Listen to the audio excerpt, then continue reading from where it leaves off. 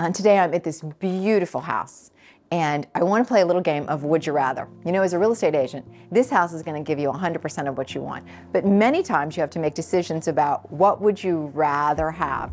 And it's pretty common. So let's try a couple would you rathers.